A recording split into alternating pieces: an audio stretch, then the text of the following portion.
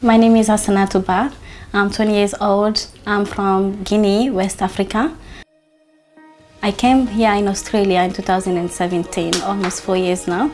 And back home I was uh, a student. Uh, I used to study in college. Back home we study French. So when I came here, I was, again, I went to high school in the to learn um, English because English is like my fourth language.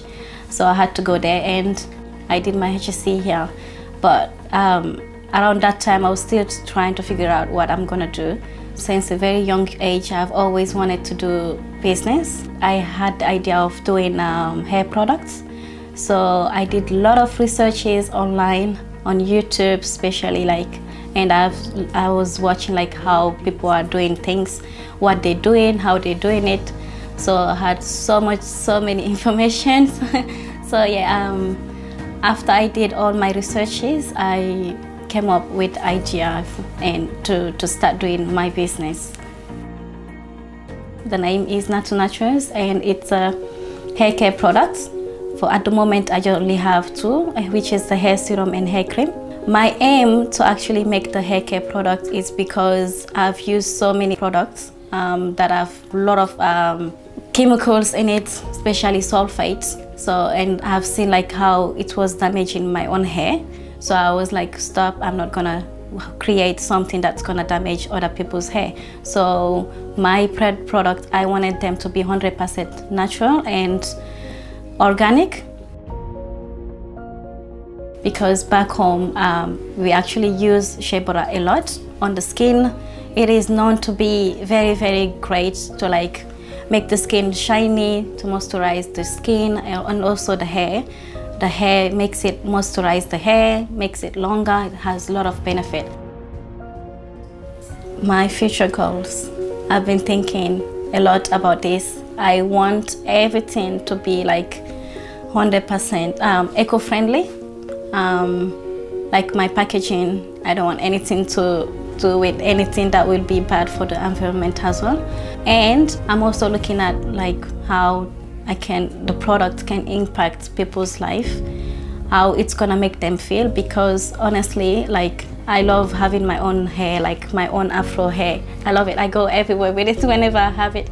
So I want people with any type of hair curly, straight, afro, short, long, bald, everything. I want them to use my products and feel very, very like confident.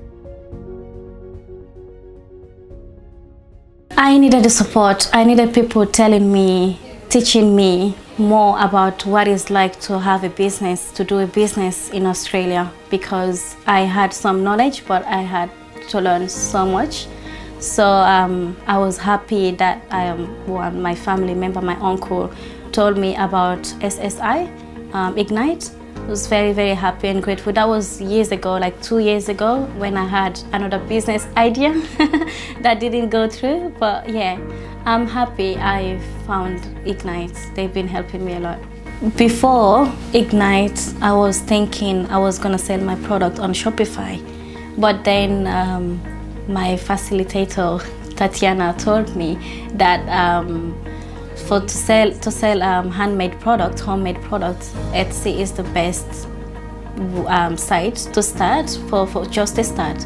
Like there, you can have uh, people like people will know about you, about your product, and then when you have reviews there, you start selling there.